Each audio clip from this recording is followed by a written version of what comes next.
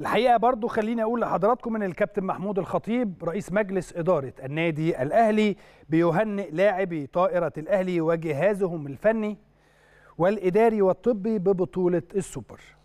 وجه الكابتن محمود الخطيب رئيس النادي التهنئة للاعبي النادي الأهلي للكرة الطائرة رجال وجهازهم الفني والإداري والطبي بعد الفوز ببطولة السوبر التي تقام لأول مرة هذا الموسم.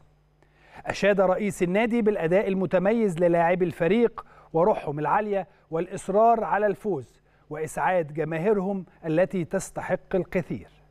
وأكد أن لاعبي الأهلي كانوا على قدر المسؤولية وحققوا الفوز في جميع مبارياتهم بهذه البطولة واستحقوا اللقب عن جدارة مثلما حققه فريق السيدات للكرة الطائرة قبل أيام وقدم عروضا طيبة وحقق نتائج رائعة ويستحق كل التهنئة. وشدد الكابتن محمود الخطيب على أن الحصول على بطولة السوبر المصري سواء للرجال أو السيدات هذا الموسم يحمل كل عناصر منظومة الكرة الطائرة بالنادي مسؤولية كبيرة تجاه ناديهم وجماهيرهم خلال الفترة القادمة والتي تحتاج إلى المزيد من الجهد والتركيز للحفاظ على المسيرة الناجحة للفرق الرياضية على كل المستويات.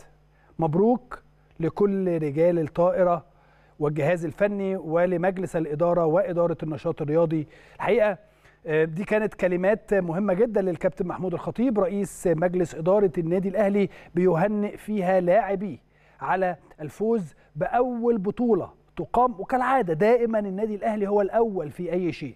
النادي